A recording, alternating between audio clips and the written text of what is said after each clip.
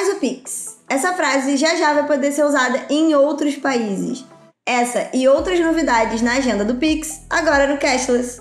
Então, o Pix já é um sucesso, a gente fala aqui o tempo todo, é, mas os planos do Banco Central não acabaram. Na verdade, eles falaram né, que o Pix é um projeto contínuo, que é para ter novidade e novos casos de uso e atender novas necessidades do público ao longo do tempo, então não é como se tivesse um início, um meio e um fim. E agora em junho eles anunciaram as novidades, né, para o curto, para o médio prazo, segundo semestre, para o início de 2024. E aí, né, o primeiro, assim, a primeira solução que, que eles anunciaram, que está prevista para 2024, é abril mais especificamente, é o Pix automático, uma funcionalidade voltada tanto, né, para negócios digitais quanto estabelecimentos físicos, para permitir que façam pagamentos recorrentes, né? Então, Desde, por exemplo, os que eles, na, no, no, anúncio, né, da, da coletiva de imprensa, da assessoria, eles deram o exemplo de uma pessoa que vai, no caso do, fi, do físico, né? A pessoa vai ali, um cliente, assinar um contrato com um prestador de serviço, escola, academia,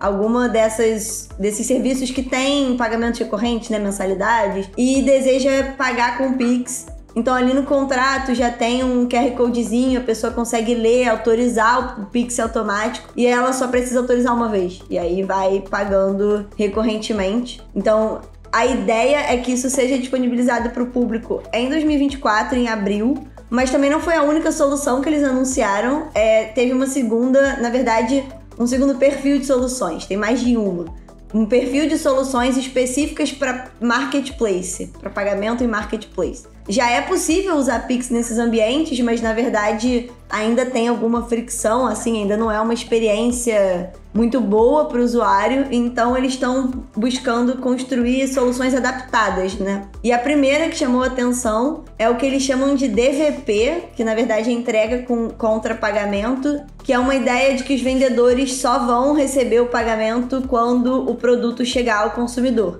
Então você fez uma compra no marketplace, prazo, sei lá, dois, três dias de entrega. Enquanto tiver no processo de, de entrega, não, o dinheiro fica é, retido. O produto chegou para o consumidor, o dinheiro é liberado. E aí eles falaram que isso é um pouco mais difícil de desenvolver, porque tem que ter ali o marketplace como intermediário, o dinheiro tem que ficar retido, tem que ter uma infraestrutura para isso, mas que eles estão trabalhando para desenvolver esse perfil de solução para marketplace e a outra é uma solução específica para que eles. Eles não deram um nome para a solução, né? No anúncio apareceu só.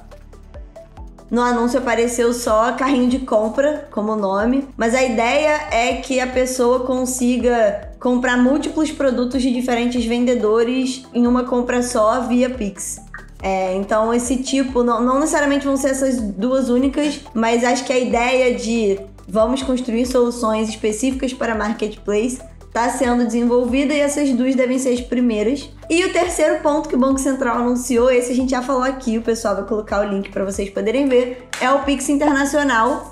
A gente já falou algumas vezes aqui sobre como fazer pagamentos, transferências internacionais. É caro, é difícil, é pouco transparente, tem vários problemas, vários gargalos que o Banco Central enxerga o Pix como uma solução, né, para para melhorar a experiência do usuário. E na verdade eles estão estudando duas formas de fazer isso, né, de lançar o Pix internacional. Uma é uma integração direta com sistemas de pagamentos que já são usados em outros países, e a outra é conectar o Pix com iniciativas existentes no mercado que façam a interligação desses sistemas nacionais de pagamento. Então seria uma conexão mais indireta, mas de uma forma ou de outra, do ponto de vista do usuário, do pessoal que está assistindo aí, Qualquer uma das soluções, o resultado seria facilitar para você, enfim, tá fazendo turismo, tá viajando, poder fazer pagamentos de uma forma mais fácil. Então, assim, para um projeto que já revolucionou bastante, o Banco Central continua anunciando novidade. Tem que esperar um pouco para ver quando elas vão ser lançadas, mas assunto de Pix não, não vai faltar. E a gente vai continuar acompanhando isso, então vocês já sabem, é só se inscrever no canal e ativar o sininho. Até semana que vem. Clica. Clica aí, gente. Valeu!